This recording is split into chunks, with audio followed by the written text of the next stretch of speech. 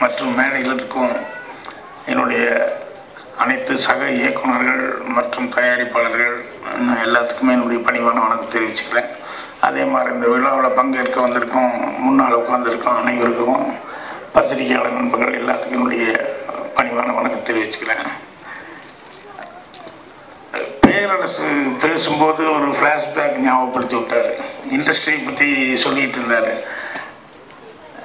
நான் வள்ளூர் கோட்டத்துக்கிட்ட என் வீட்டுக்கிட்ட இந்த டூரிஸ்ட் பஸ்ஸுக்கெல்லாம் ஈரோடு கோபி கோயம்புத்தூர் இந்த சைட்லேருந்தெல்லாம் வரும். அதில் வழக்கமாக அவங்க வள்ளூர் கோட்டம் அப்படின்னு சொல்லும்போது அப்படியே பாக்யராஜ் வீடு அப்படின்னு சொல்லி தான் அந்த டூரிஸ்ட்டுகள் எல்லாத்தையும் கலெக்ட் பண்ணிட்டு வருவார் அந்த பஸ்ஸு டிரைவர் கண்டக்டர்லாம் நானும் வந்துடனே எல்லா நேரம் வந்தாங்க அப்படின்னு சொன்னோம்னா வந்து கீழே இறங்கி வந்து எல்லாத்தையும் பார்த்து ஒரு பத்து நிமிஷம் பேசிட்டு போவேன்.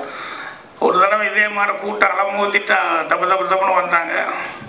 அதில் முன்னால் வந்து ஒரு எழுபத்தஞ்சி வயசு இருக்கும். ரெண்டு லேடிஸ் வயசான பாட்டியை அவங்க அந்த கூட்டத்தில் வந்து சிக்கிட்டு முன்னால் நின்றுருக்காங்க. சுற்றி வர மற்றவங்கெல்லாம் கையை நீட்டி கையை நீட்டி எல்லாம் கை கொடுத்துட்டு எல்லாம் பேசிட்டு இருந்தாங்க. அப்போ இந்த ரெண்டு பெருசுகளும் பாட்டி ரெண்டும் அப்படி திரு திருன்னு கூட்டத்தையும் என்னையும் பார்த்துக்கிட்டு அதுக்கப்புறம் மெல்ல பக்கத்தில் கூட்டி யாரு? யாரு இது? அப்படின்னாங்க. "ஆ, இது தெரியலையே அவனுக்கு பாக்யராஜ் அப்படின்னு சொல்லிட்டு அவன் கூட இருக்கவங்களாம் சத்தமாக சொன்னானுங்க.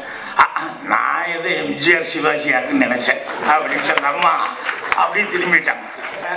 சினிமா அப்படின்னு சொல்லி சொன்னோம்னா ரொம்ப காலமாக அது டக்குன்னு ஞாபகத்துக்கு வர்றது அப்படிங்கிறது அவங்க. அதே மாதிரி வந்து எங்கள் டைரக்டர் டைரக்டர் அப்படின்னா அவர் தான் அப்படிங்கிற மாதிரி பேர் எடுத்திருக்காரு அது பேரரசு அவர்கள். அழகாக தெளிவாக சொன்னார்.